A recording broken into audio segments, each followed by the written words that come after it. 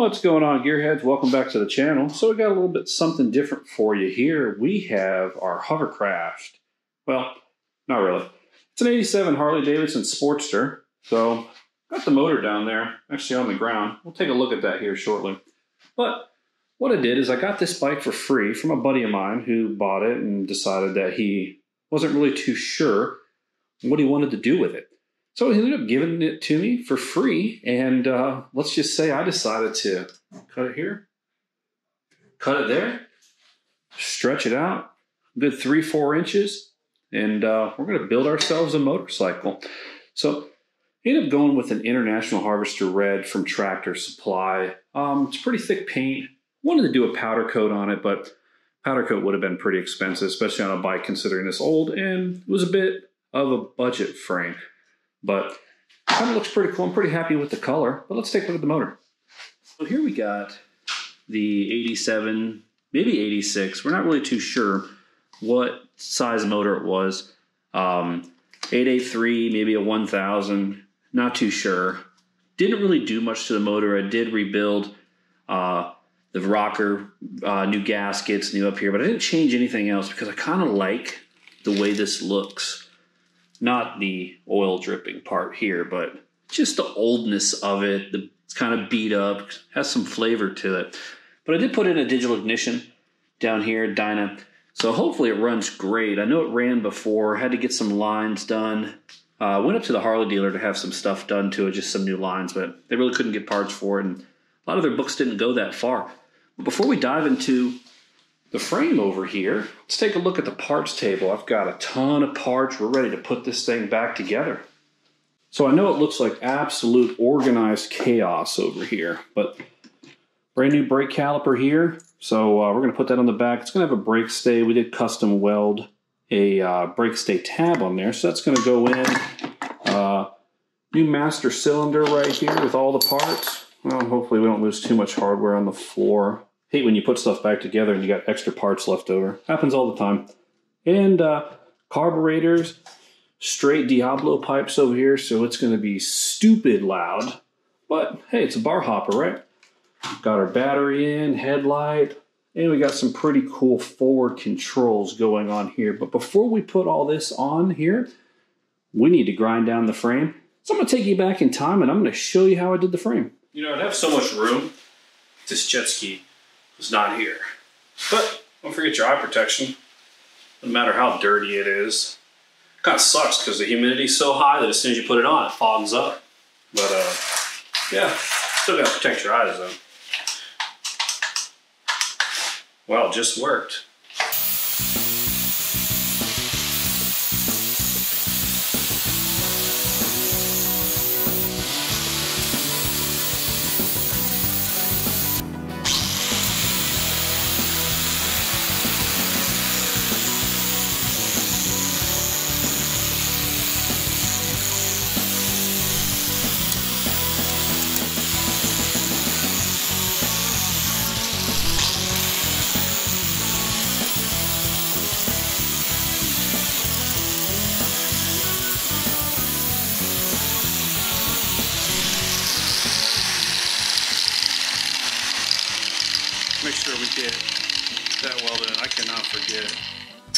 See an extra hole there. I have no idea what this extra hole was for. Can't remember. I'm not going to admit that I drilled that. Looking at the frame though, um, got most of it cleaned up a little bit with the grinder. I'm going to finish that, finish it out, and then probably get this bung in here put in, get that welded in, bust out the welder and get some of this cleaned up. You can see where it was seamed together uh, where I welded it. I'm not a professional welder, but pretty happy with that.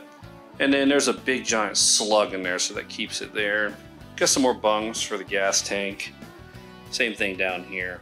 So it was pretty much snipped here, snipped there, and then stretched out. So there's for the seat mounts here and the fender. Um, then we grinded off the actual uh, VIN number, so the DMV doesn't now. We'll say it's home built, right? So I've got all that there. But look at this awesome gas tank I built because we're going to put it right up here. Um, and again, these bungs are all measured out for the gas tank. Clear coated. And then I used a Cricut to do the Harley logo here, stuck it on, and then clear coated it. But I threw it in the back of the truck for a couple weeks to allow it to kind of rust up. I'm gonna hit it real quick with a uh, angle grinder, cleaned a little bit up, wire brush, and um, yeah, pretty happy with that style. But gonna pretty much mount right there. Pretty small tanks, little peanut tanks, so you're not gonna go very far. But who wants to go that far when you're uh, breaking your spine going down the street? But yeah, pretty happy with that. But let's grind some stuff down and let's get it cleaned up.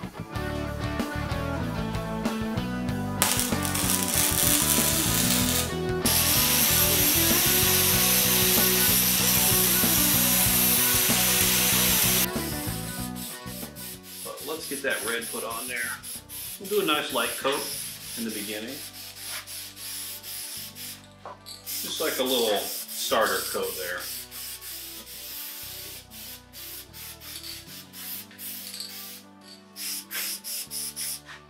Not too heavy. Probably remove that one.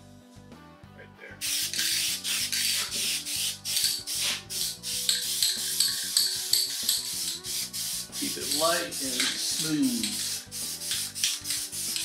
Something that the rest of the paint is gonna stick on. So I made a mistake with that bushing there. I accidentally put that brass bushing in there a little too soon.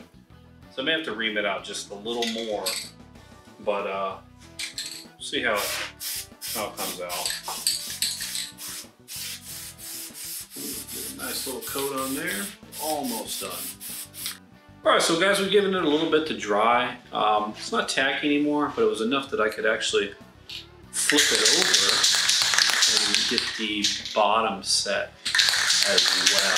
So what's interesting is there are some grease down here. What's funny is I actually did clean it pretty well. So I may have to touch up some little extra parts in here, but again, it's the bottom and you can tell, I mean, because this is from the 80s, so it's a pretty old bike that even though we did some grinding and cleaning up, it's still scuffed up down here. Just some old stuff here. So we'll probably try to get that cleaned up as well, just a little more. I mean, it is too late because it's painted uh, with a couple layers, but try to see if we can kind of thin it out with some more paint, at least so you don't see the gaps and stuff. But a lot of the motor is going to cover this part up. Guys, so we finally got the frame back from the paint booth, the rattle can paint booth from my garage.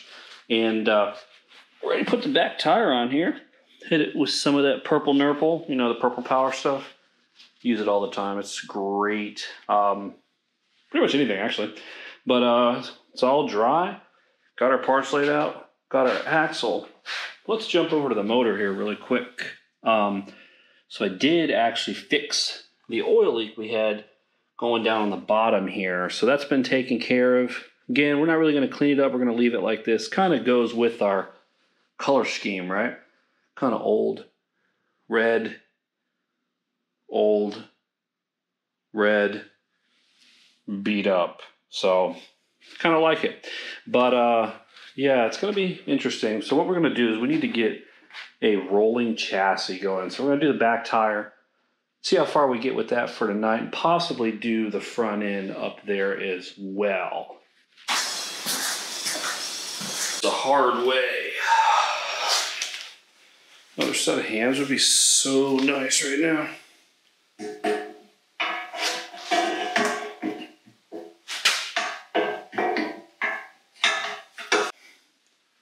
And I'm sure there's way, way easier ways to do this, but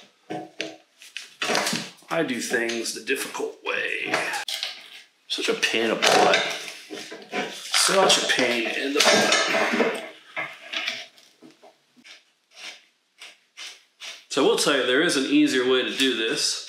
It would be to take the forks off themselves and just install the triple tree. Problem is, couldn't get the forks off. Tried and tried and tried for days, can't get them off the top triple tree. Put them in a vise, could not get them off.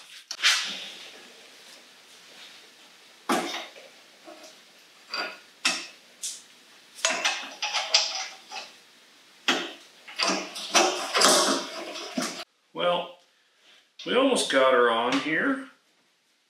And one of the biggest things is getting these little nuts on here to adjust the, well, pretty much adjust the, uh, the chain. What's funny is this actually had a belt on it originally. They didn't come from Harley with a belt, but somebody along the way installed a belt on it. So thought that was interesting. I ended up pulling that off and again, did a chain drive. What's interesting about these hardtails is uh, I'm pretty sure there's going to be some chain smack on the frame. So I'm expecting portions of the frame where the chain is to actually get damaged. I want to put a tensioner on there. I thought about putting an actual chain tensioner, but uh, I've seen some horror stories with those there. But, So we got our caliper here. Pretty sweet, probably the coolest looking thing on the bike. So it's interesting. Um, these are pretty hard to find actually, just a caliper, but it was cheaper for me to buy this entire kit. It was a caliper and a front end kit. Didn't ever, uh, didn't end up using the front end kit. But uh, here's that brake stay right here. So that kind of fits in like a spacer, and you remove the original spacer that's in there, and uh, it ends up sitting here. It connects to these two rods right here. So we're gonna get this mounted in, and it kind of sits as like a it floats on the bottom. It's a pretty interesting design. And our plate is already... Oh my god, we put it on backwards. The fuck? What a pain in the butt. You know what? Let me pull out the pocket cam the handy dandy pocket cam so you can see exactly what I'm up to over here. So that's it right here. Pretty tight space. This bracket's got to go in there. So it's hard to push. You got that one spacer there. Then you have the chain tensioner spacer. Then you got to put this plate in here. For this, go ahead and get this caliper on here.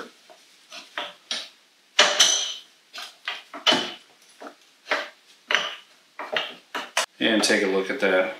There's that plate there. So that caliper is going to float right down on the bottom, right down there. So it'll move. We'll be able to tension it between that mount and this mount to kind of adjust what's best we got going on. And then over on this side.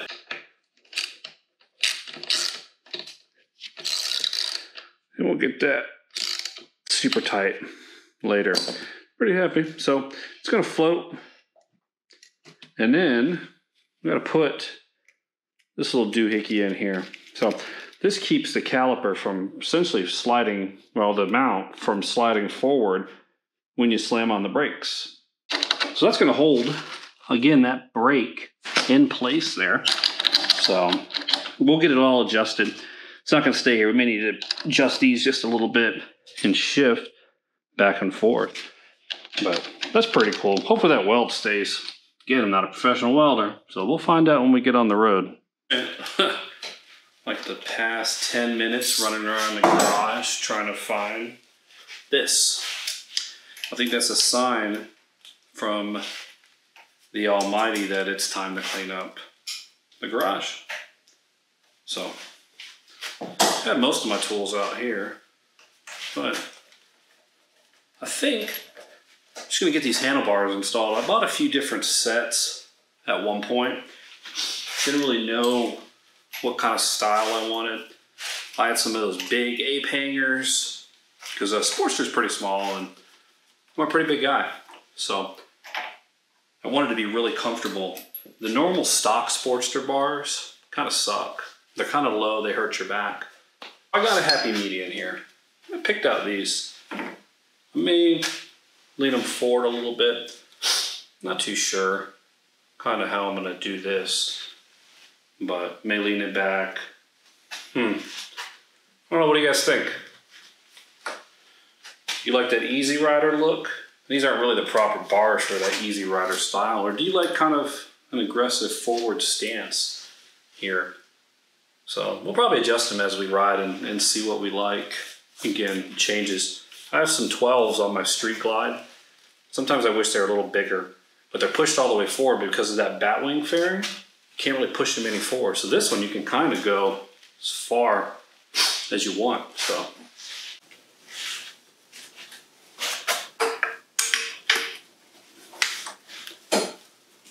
We'll get that put. And I actually didn't disconnect. Oh, I would have had slack actually. Look at that. So be careful with this, guys. This is really a crucial step. Um, I do like to get these nice and tight right now because this is one of the big things that you can actually miss. Surprisingly, and people do it all the time. And first bump they hit, if you remember when you were a kid with your handlebars on your bikes, those handlebars would go flying forward or flying backward. So I do like to get these nice and tight. That way, I don't have to worry about it later on. And if we need to adjust it, we'll get it adjusted where it needs to be. You know, it's interesting, while I was working on it, I did find a few little blemishes here and there where it didn't fully cure, or I think my skin touched, but good thing the gas tank is going over that there. And those handlebars, really happy with the way this is coming out.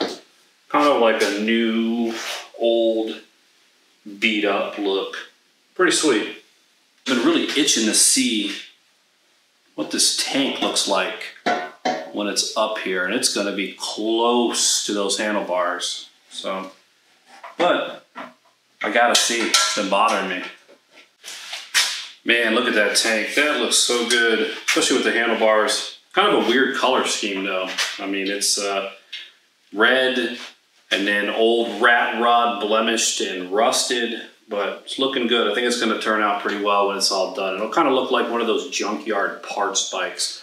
My only concern is the steering. It's a little too late at this point to adjust anything because I've already drilled the hole for the bungs and welded it in, but this is going to be definitely close considering it's 90 over here. So I think that kind of ends our uh, episode one here for the build on this sporty. Um, yeah, it's definitely going to hit. Look at that. Ooh. Yeah, we'll try to mitigate that later. Maybe shift the bars over a little bit. Not too sure. But, you know, it's late, guys. I'm tired. Everything's done for what we have to do. We got the rear tire on, got the triple tree on, got the handlebars on, mocked up the tank. I think that sets us up for a good episode two and possibly get that motor in, get it wired, get all that stuff done. What I really want to do is get this darn seat on. I think this seat here is going to look really cool once it's on. Uh, oh, that's wild. Oh yeah, super, super happy with that for right now. But I think we're done, guys. See you for episode two for the motor install, the wiring, and all the other fun stuff.